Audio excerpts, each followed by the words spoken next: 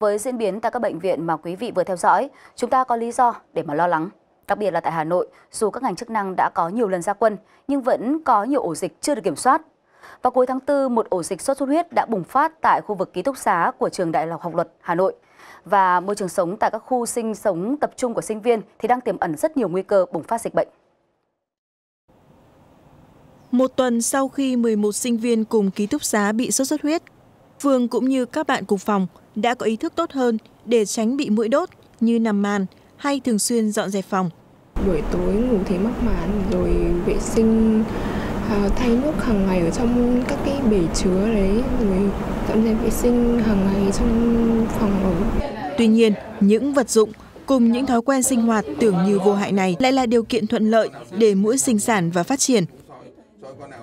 Tại ký túc xá trường ờ, Đại học Luật ấy, thì là chúng tôi đã phát hiện với nghiện là có 11 cái trường hợp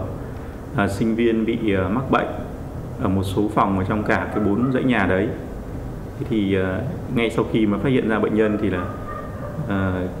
trung tâm y tế Đống Đa cùng với trung tâm Hà Nội đã điều tra rồi và phát hiện rằng là là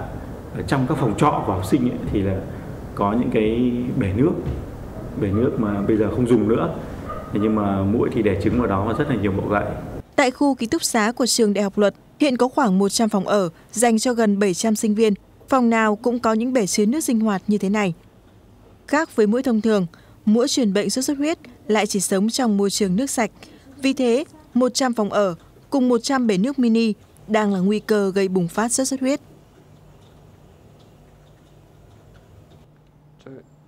À, vâng, thưa các bạn, tại các phòng ở của sinh viên tại các ký túc xá thì đều có những cái bể nước như thế này. Hàng ngày những bể nước như thế này sẽ được vặn đầy nước và để cho các em sinh viên dùng sinh hoạt hàng ngày. Tuy nhiên lại có một thực tế là đa số những bể nước như thế này thì trải qua thời gian rất là dài và không được cọ rửa những cái phần nước ở dưới đáy à, còn lại thì lại là môi trường thuận lợi để cho mũi đẻ trứng và à, phát triển thành mũi có mầm bệnh sốt xuất huyết và điển hình là tại khu ký xá của trường đại học luật thời gian vừa qua thì một ổ dịch sốt xuất huyết đã bùng phát và tại đây 11 em đã mắc bệnh sốt xuất huyết và phải à, vào trong viện để điều trị.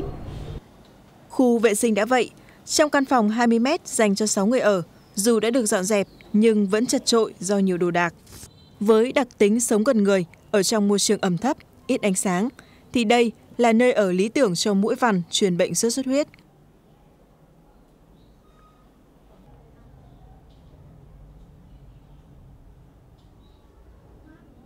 Tất cả những cái dụng cụ chứa nước đều lý tưởng thì là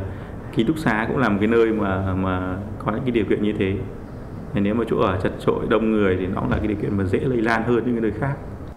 Theo thống kê của Trung tâm Y tế Dự phòng Hà Nội, tính đến hết ngày 22 tháng 5, trên địa bàn thành phố đã ghi nhận 817 ca mắc sốt xuất huyết, tập trung chủ yếu ở các quận huyện như Đống Đa, Hoàng Mai, Hai Bà Trưng, Thanh Xuân.